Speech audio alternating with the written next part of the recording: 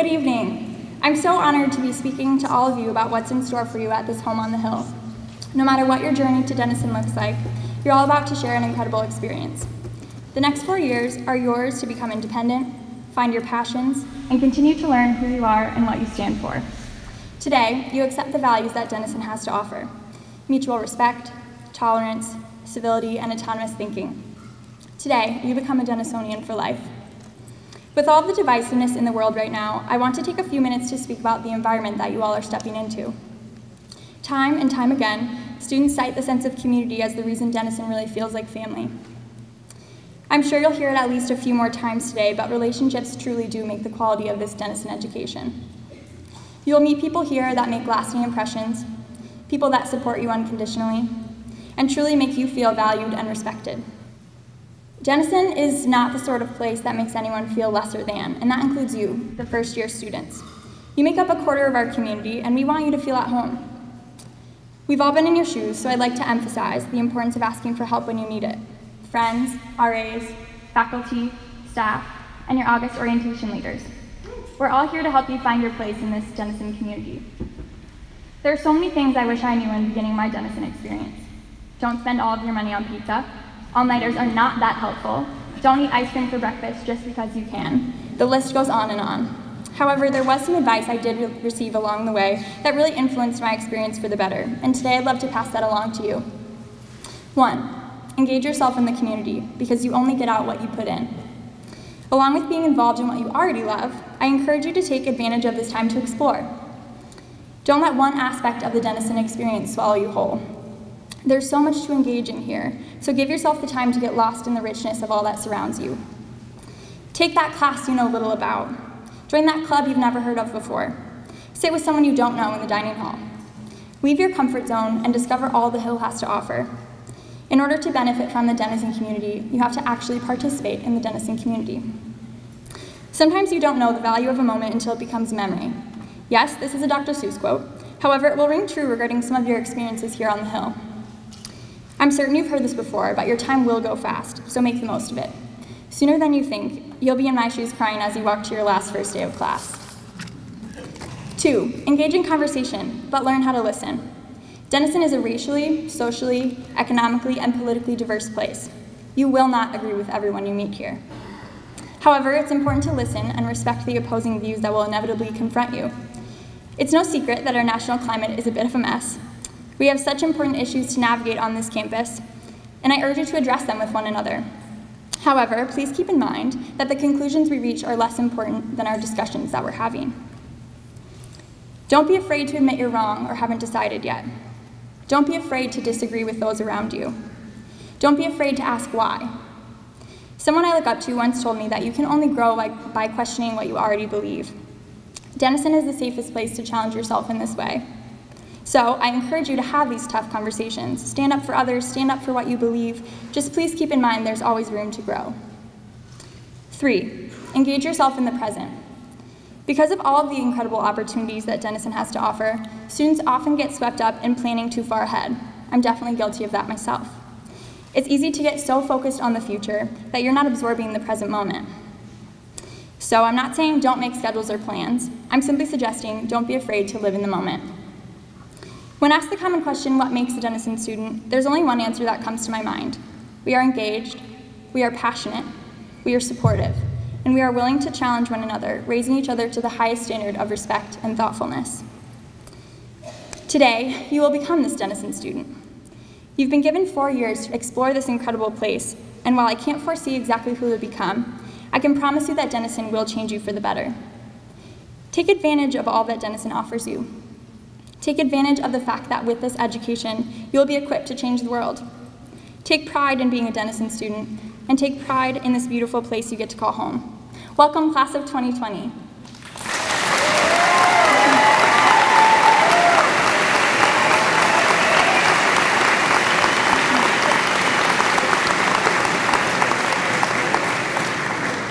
And I'll now ask Julie Haupt, Vice President for Institutional Advancement and Denison alumna, to join me at the podium.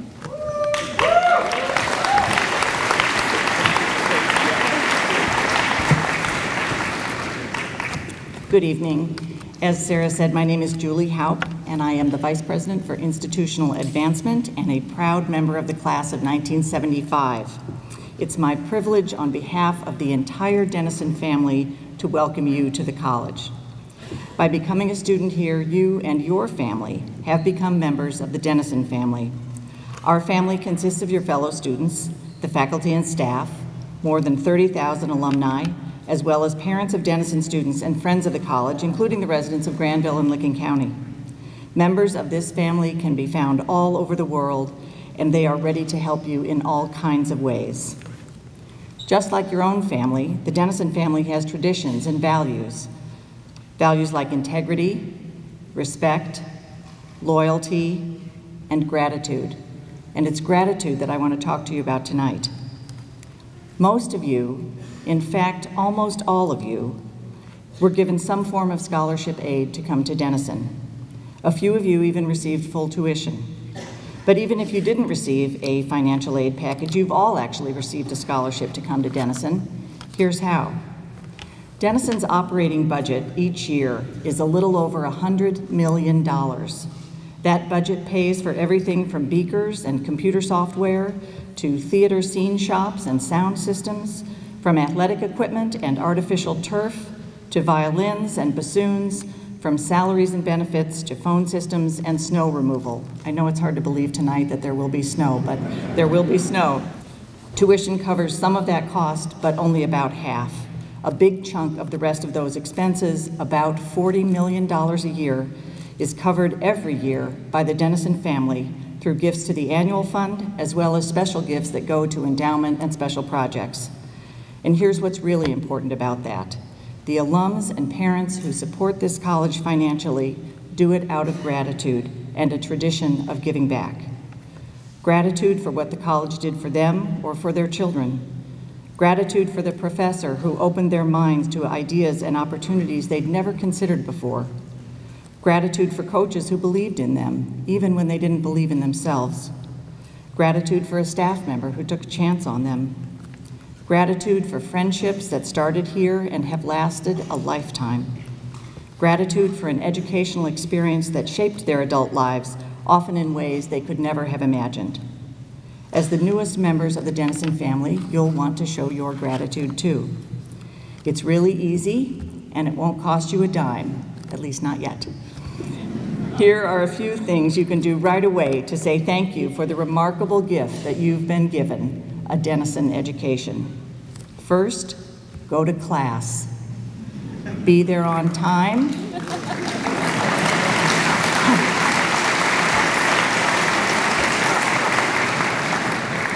Be there on time and turn off your mobile devices.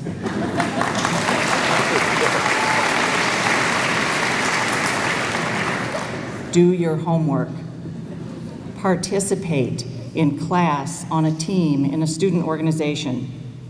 Respect this campus and the village of Granville. Pick up your mess and sometimes pick up somebody else's mess.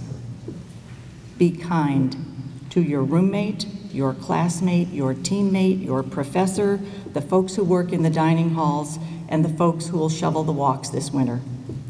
And one more way to show your gratitude Many of you will receive an email in a few weeks from Maureen Severson, our Director of Stewardship, asking you to write a thank you note to the donor who gave the money to create the scholarship that made it possible for you to come here. Write that note. Write it immediately. Doesn't have to be long, you don't have to tell your life story. It's nice to tell the donor a few things about yourself, that you're an athlete or an artist, what you might major in, that you love Game of Thrones or country music, but write the note. Write it right away and write it gratefully. Gratitude is just one of the values and traditions we hold dear at Denison. You'll hear about others tonight and in the weeks to come as you learn more about what it means to be a member of this family. Another tradition is to have two students serve as representatives of the class of 2020 uh, at this ceremony, and we select these two as the student whose hometown is the farthest from Denison and whose is the nearest to the campus. So I'm pleased to introduce Alex Muir, who's from Granville and lives about three miles from campus, and Takahiro Higuchi, who's from Sri Lanka and traveled 9,017 miles to get here.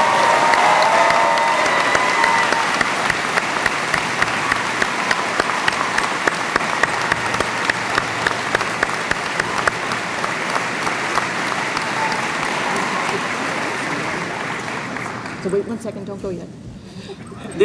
This, is the banner for the class of 2020. Behind you are the banners of students who have, of the class banners of students who have preceded you over the previous century. You'll see your banner again upon the occasion of your graduation, and then it will join others as part of Denison's historical record and will be displayed every year on reunion weekend. And now I am pleased to introduce to you Dr. Dave Busan, class of 1981 and chair of the faculty.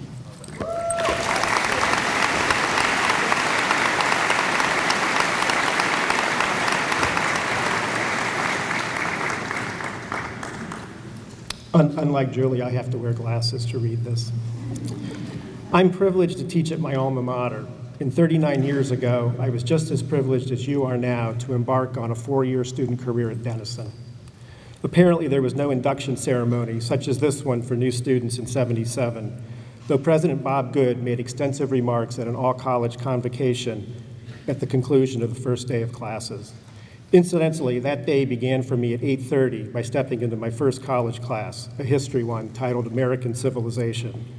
And it ended with my New York Mets losing to the Phillies on their way to another last place finish. but let's get back to that convocation that I don't seem to recall. I'd like to thank our library's Stephanie Kays, who unearthed the text of President Good's remarks. Good began his talk by speaking of community. He emphasized that organized societies aren't necessarily communities.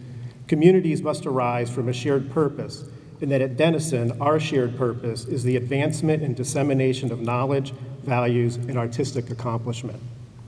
In essence, Denison students, faculty, administrators, and staff comprise an academic community. 40 years ago, this dissemination that Good spoke of was ostensibly the faculty's purview. And while the faculty, those who will teach you in classes, science labs, musical ensembles, theater productions, and the like, are trained professionals in their chosen areas of scholarly interest, I would hate to think that your education over the coming years will be so top down. There's certainly room for learning from each other, both in and out of the classroom, on the playing field, and other endeavors that define your social lives. While we are all members of this academic community, President Good continued his address by stating that his hope was that Denison was increasingly becoming a total community. He went on to say, to be a total community means that we, all of us, are concerned about the quality of classroom or formal learning and the quality of our life together beyond the classroom. To be a total community means that faculty members challenge students to broaden their experience in meaningful ways by the selection of their extracurricular and off-campus activities in that students challenge professors to become part of a community that seriously wants to explore the difference between formal studies and creative leisure, and on occasion, without any seriousness at all, simply wants to have fun. Anecdotally, I might add that no one ever accused a Denison student of not knowing how to have fun. While I might quibble at the edges with Good's definition of a total community, by choosing to be here today, you have taken a big step toward becoming a constituent of this college's total community. And with that choice comes responsibilities. Unless you want that top-down education I spoke of earlier, it's incumbent on each of you to come here with an open mind and a willingness to do the work necessary to learn, but also to question what you learn. Do the reading, and I might add, comprehend the reading you do. Do the daily homework. Come to class prepared to learn and to disagree. Engage with your fellow students and professors. This is the roadmap to becoming a critical thinker. Denison has a student-faculty ratio of 10 to 1. While this doesn't mean that your classes will have only 10 students in them, it does mean that you can't remain anonymous by sitting in the back of the classroom. There is no back of the classroom at Denison. Take advantage of your instructors. Get to know them. Make use of their office hours. Ask them questions outside of class. Believe it or not, the vast majority of you will leave this hill in four years having connected with one or more of your professors in significant ways. High school is over. It's the minor league to Denison's major league. To further the baseball analogy, at Denison, you'd better learn to hit a curveball. And those fastballs that were easy to hit in high school are no longer going to be thrown down the middle of the plate. From now on, you're going to have to think better while in the batter's box awaiting the next pitch. As you move into your residence halls, be aware of those fellow students who might not look like you, might not dress like you, or might not talk like you. Extend a hand and a greeting to them. Take out your earbuds, put down your phones, and talk to each other. Get to know one another. This, too, is part of being a member of our total community. Unfortunately, experience can't be taught, but if it could, I'd teach you my past 35 years since graduating from Denison. College isn't the best four years of your life. If you do these Denison years right, every year after graduation will be better than the preceding one. Live in the moment, revel in it, savor it. Plan for the future by doing the right things today, tomorrow, and over the next four years. And if you do, I think you'll agree with me that it's a pretty good life. Professor Ching Chu Hu of Denison's Department of Music has composed a very special piece of music to mark this occasion. The fanfare for the class of 2020 will be performed tonight and then again upon the occasion of your commencement from Denison in May of 2020.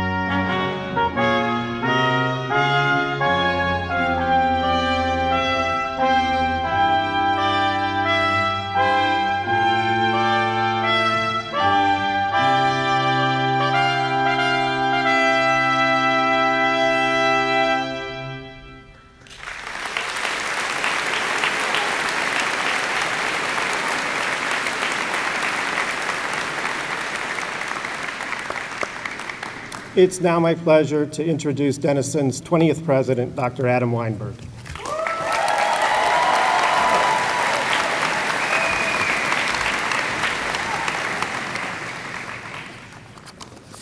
So, looking at my remarks, I'm thinking I like Sarah's better.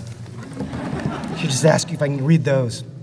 Um, you know, I want to start with just some, um, what my kids would call some shout outs. How, how about a huge shout out to Juno staff, Augo staff, Prio staff, RAs, HRs, amazing football players, the dean of the first year, Mark Moeller, Chrissy Casson, and a huge, huge, huge shout out to all the facility folks who helped get us in this place tonight.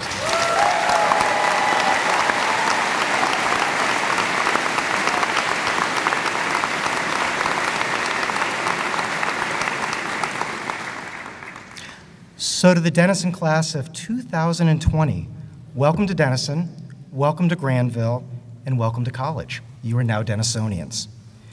When you decided to attend Denison, you made the choice to come to a college where relationships run deep and the education is transformative.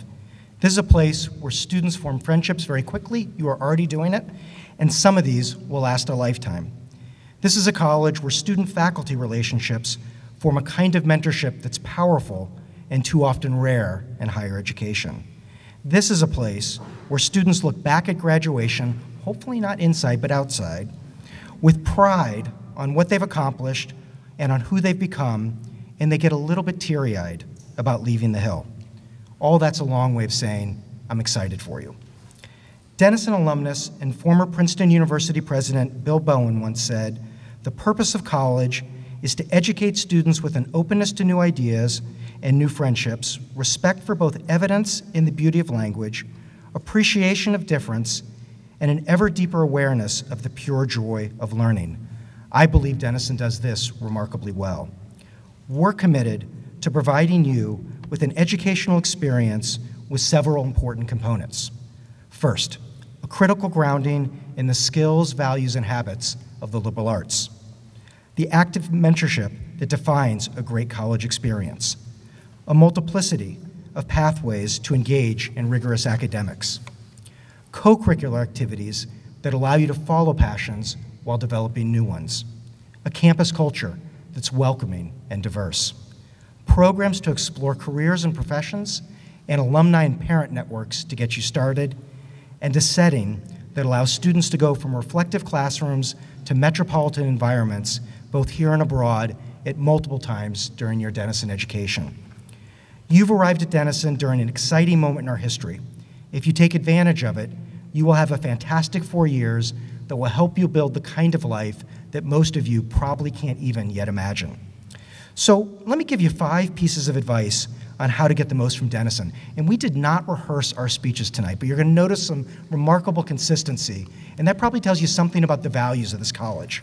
First, go to every class, go prepared, and be engaged. And I also gave that same advice to our teenage son who went off to college last night. Your classes are the foundational element of your education. At Denison, you will study with some of the best professors in the world. Your classes will be challenging, liberal arts colleges pride themselves on small classes and interactive classrooms. We expect everybody at this college to contribute to the intellectual life of the classroom. This starts by asking students to push themselves. This, this takes more than showing up. We expect every student to be prepared and to be engaged. This also means being open to and excited about hearing a variety of ideas and being challenged to think anew. There will be times at Denison when you are pushed outside your comfort zone. That's part of the academic experience. Take full advantage of the academics at Denison. If you only do this, the next four years will transform you as human beings. Second, embrace the liberal arts. Liberal arts classes will engage you in ways that will prepare you to think critically, understand profoundly, and connect broadly. In doing so, you will learn to ask big questions about the kind of life you want to lead while also developing the capacity to build that life for yourself. One of the great advantages of this kind of education is that it will prepare you to adapt as your life unfolds. To do this, it's important that you take a wide range of classes. Don't make the mistake of coming to a college that has so much to offer and then narrowing yourself to a very particular path. During your first year, take some classes and disciplines you're excited about, but also take some classes and disciplines you've never heard of or you never thought you'd be interested in. Stretch yourself, get outside your comfort zone. The wider array of classes you take, the more the sharper your liberal arts skills will become. Third, get to know your professors and the Denison staff, all of whom make this a great college. Our faculty are among the best scholars and educators in the world. They're master teachers who believe in the power of student faculty interactions. Mentorship is more than something we talk about, it's more than something we say, it's something we do. Our faculty will seek to connect and catalyze you, but for that to happen, you have to be open to it. We have more and more data that documents the power of student faculty interactions.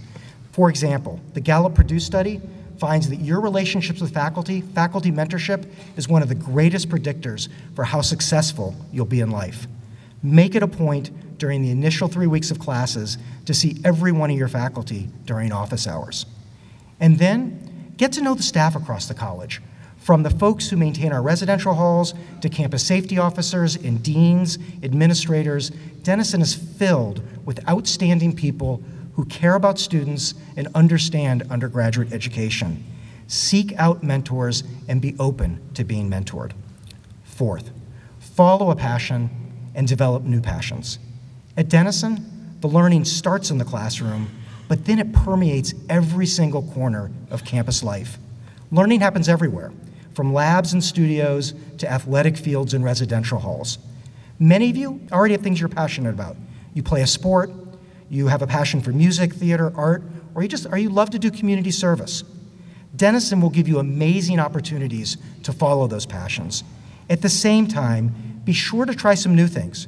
Join a club, try an activity, do something that's totally new, do something you never, ever, ever would have imagined doing in high school. So here's two pieces of advice. First, dive deeply into your activities, but don't sign up for everything. There's a lot to do at Denison, and you can't do it all. And especially during this first crucial year, follow a passion, try a few new things, but also break the bad habit of high school of getting involved in everything. Your job is to commit yourself to learning, which means not overcommitting yourself. Second, and this one may be a little surprising, you have to embrace failure and embarrassment as necessary steps on the road to becoming educated. There's a, there's a wonderful quote whose author I have not been able to find, so if you know it, let me know. But it goes as follows Take risks. If you win, you will be happy. If you lose, you will be wise. Here's a secret life gets much easier when you get over the fear of being embarrassed. And five, be good to each other and build the community that you want to live in. You will make a close group of Denison friends. That's a Denison tradition. But don't narrow yourself to one small group of friends. Make it a point to find the person in your residential hall whose life experiences are really different from your own and become friends. Enjoy your differences and also discover what you have in common. You will be expected not just by us, but by your peers to engage a diverse range of people around you and to be open to being challenged on views of your, on your own views. This is a college where we learn from each other because we're open to hearing different views, we're open to voicing our own views, and we learn how to reconcile competing differences into new ways of thinking. Your experience at a residential college will be shaped by how you treat one another. Be a generation that always shows care and respect for one another. Remember that a college campus is a place where people are expected to make smart decisions for themselves and smart decisions for others, and where we expect everybody to step up and intervene when we see other members of our community getting ready to make a bad decision for themselves or for those around them. Don't stand idly by. We expect more, and quite frankly, the community you will live in will be the one you create. Much of the data we have about college in the United States suggests that these principles are most crucial during the first few months of your first year, especially as it relates to issues of alcohol and sexual assault. It's imperative that we rid the nation's campuses of sexual assault, including this one. That means a mindful focus on the start of a student's college career that should extend through all four years. Be a Denison class that looks out for each other and ensure that you get off to a great start. Julie said earlier that your banner will go up there. Many of you will come back for your 50th reunion and look at that banner. Be proud of the way you started your college career. If you see a classmate struggling, step in. Ask for help when you see someone that's getting ready to make a mistake and sit with somebody who's sitting alone. Put most simply, be a good friend early and often, see one another as friends, even the people you haven't met yet, and treat each other as such. That's how a great community is made. So that's it. Go to every class, be prepared and be engaged, embrace the liberal arts, get to know your professors and staff who make this a great college, follow a passion and develop a new passion, and be good to each other and build the community you want to live in. Let me, let me close with a personal reflection. Um, I'm a product of the liberal arts, and as I look back on my life and the lives of my friends and the students who I've worked with over the years, it's clear to me that a liberal arts education will help you identify the kind of life you want to lead while instilling within you the skills, values, and habits to build that life for yourself. You are about to experience a type and caliber of education that every young person in the world deserves, but very few have the opportunity to receive. Take advantage of it. Your education will not happen by accident, it will happen when you step up and step in. You have come to a great college what I believe is this nation's finest college. I hope you will fall in love with it as much as I have. So, lastly, a plea. Um, if you see me around campus and I ask how things are going, that's not a rhetorical question. Um, stop. Let me know how things are going. One of the great joys for me being here for the last four years is getting to know our students. We do have the best students in the country. We're excited to welcome you into our community, and I'm excited to hear how your first few weeks in your first year is going. I now want to invite Dr. Laurel Kennedy, Vice President of Student Development, and Dr. Kim Coplin, Denison's Provost, to join me for the induction of the class of 2020.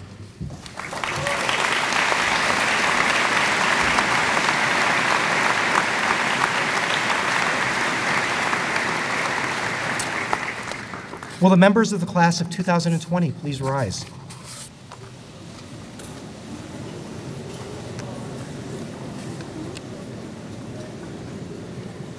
It is my honor to formally induct you, the class of 2020.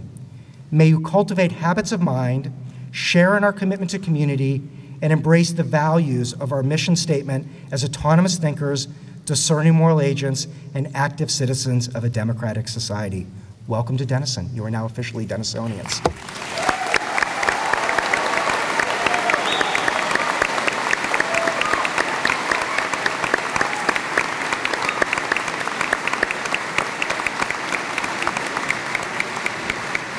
And before you sit, can the class of 2020 just kind of look on either side of you, and can we just applaud all of the mothers, fathers, aunts and uncles, grandparents and friends, and everybody else who got you here?